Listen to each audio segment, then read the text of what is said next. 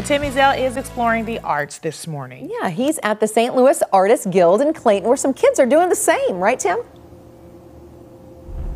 Some great artists on display here. That's right. Good morning, Margie. Good morning, Blair. We're talking about the Young Artist Showcase right here at the St. Louis Artists Guild. We've got Zach Pateau joining us right now. And tell me a little bit about this event.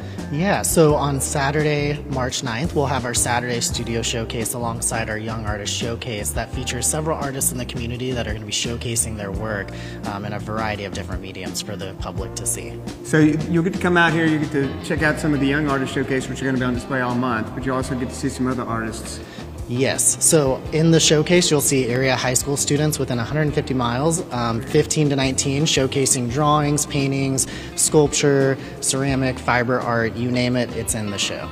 And then the other artists are here to show off their skills as well. Exactly. And we got a few of them joining us. Kat, we're talking to first. Kat, tell me a little bit about your art and how long you've been doing it.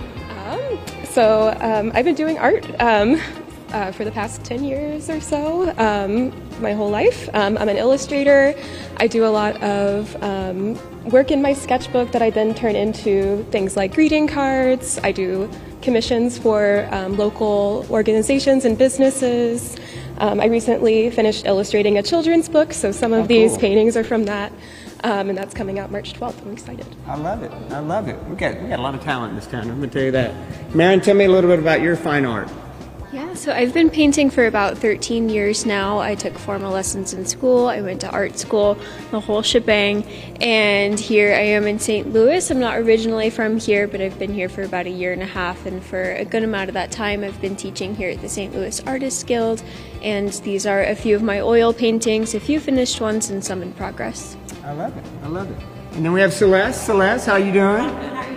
Tell me, what is a social artist? So I'm a social worker first. I'm actually a social worker at Sumner High School, yeah. and then I'm an artist at night. So I, I try to do the combination of art, youth, and community. So I just try to bring all that together with being a social worker, showcase some some of my art, and then some of my kids' art, and then how I bring that together by being, like I said, I'm an artist, and also I'm a teacher here at St. Louis Artists Guild. So super excited about Saturday. I want you guys to come out. Yeah, come on on Saturday. It's going to be a great event right here at the St. Louis Artist Guild, and then also all month long, check out the Young Artist Showcase yes. right here at the Guild. Absolutely. There's a lot of talent here. Not me.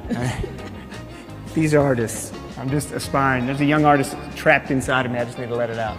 We'll have more coming up in just a bit right here, Fox 2 News in the morning. Stay with us.